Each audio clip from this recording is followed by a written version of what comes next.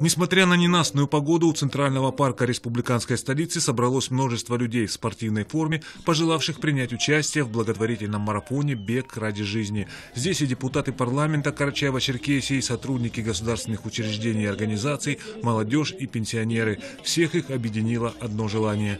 Мы пришли не для того, чтобы победить сегодня. Мы пришли, чтобы поддержать, чтобы помочь. Помощь детям – это святое дело. Дети – самое главное, что есть у нас в жизни. Если какому-то ребенку сегодня, сейчас нужна помощь, мы всегда готовы прийти и помочь. Мы просто не могли остаться в стороне от такого события. И поэтому сегодня самые молодые, самые активные сотрудники пенсионного фонда здесь.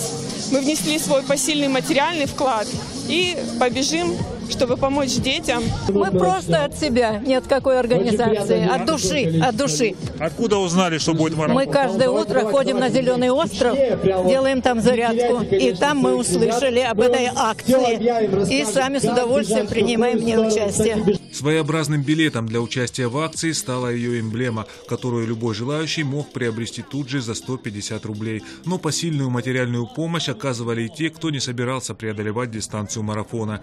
Перед забегом необходимо провести разминку, что и было сделано под руководством профессиональных инструкторов фитнес-центра «Реактив». Раз, два, три, четыре, пять, шесть, семь. Молодцы! И вот участники марафона к забегу готовы и организаторы дают старт.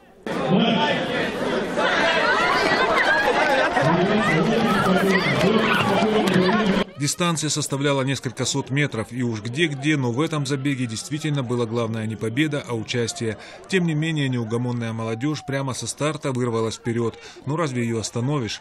Кому-то, возможно, будет трудно поверить, но организатором этого масштабного благотворительного мероприятия изначально был всего лишь один человек – учитель физкультуры Адыгихабельской школы Асият Хакирова.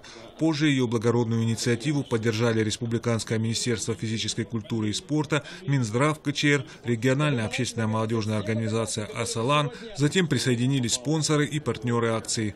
Сейчас во всей России очень широко распространен опыт таких вот подобных забегов. И мы решили в нашей Карачаево-Черкесской республике тоже впервые спортивно-благотворительное мероприятие объединить и провести. К кому мы первому обратились э, с этой идеей? К первому мы, конечно, первый мой помощник – это Министерство спорта в Карачаево-Черкесской республике.